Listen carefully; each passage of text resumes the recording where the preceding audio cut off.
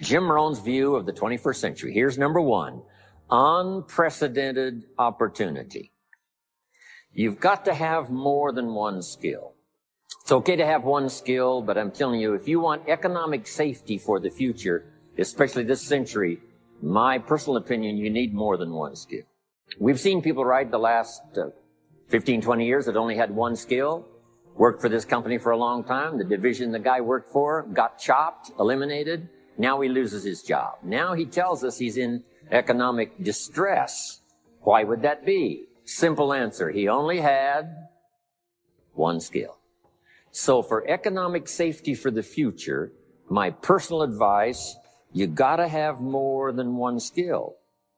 In fact, it led me to my first fortune, and that was learning more than one skill. I started learning these extra skills in Idaho, where I grew up. I knew how to milk cows, but it didn't pay very well.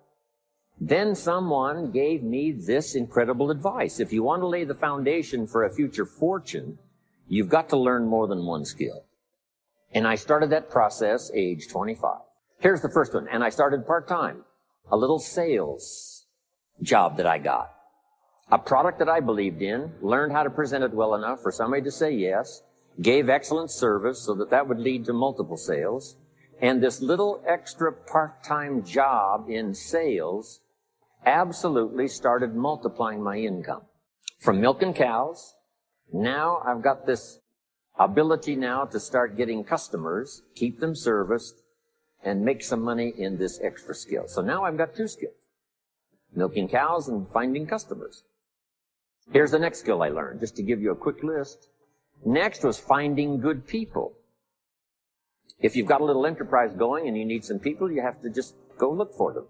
And when I learned this skill, finding good people for my little enterprise, I couldn't believe how it drastically changed my income.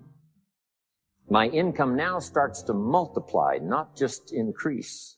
So now I've got what? Three skills. Milking cows, getting customers, finding good people. I'm on my way. Here's the next one that paid me big money, in case you're interested. And that's organizing.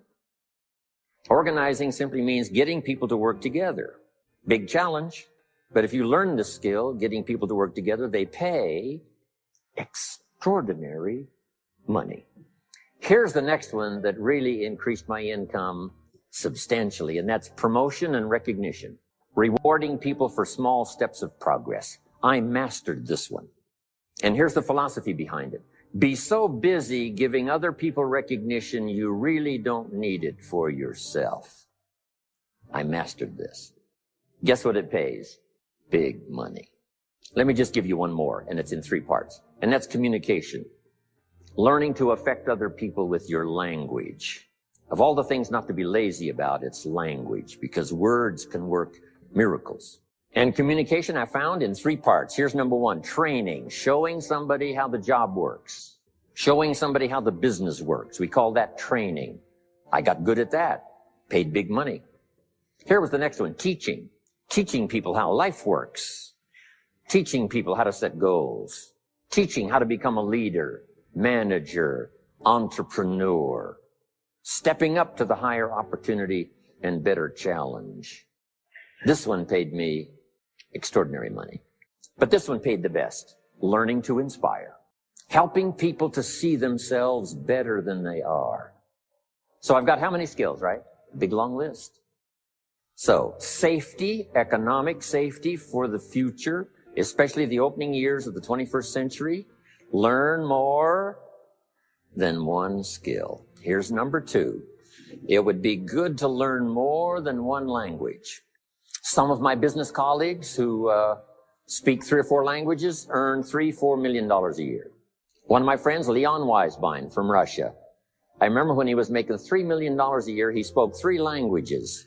Here's what he said. I think I'll learn another language, make another million dollars.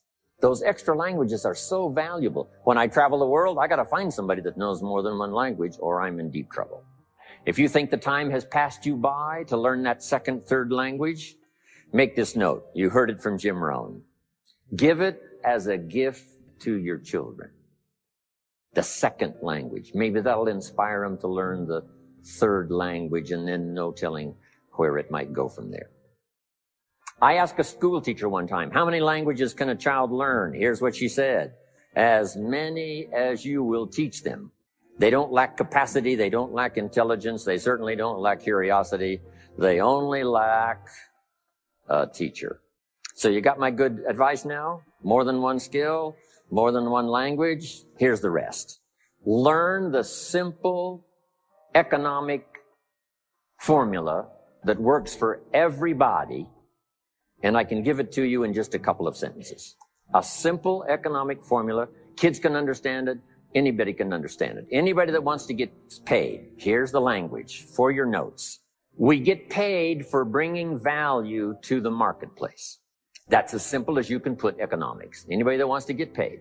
You get paid for bringing value to the marketplace. The marketplace is the people.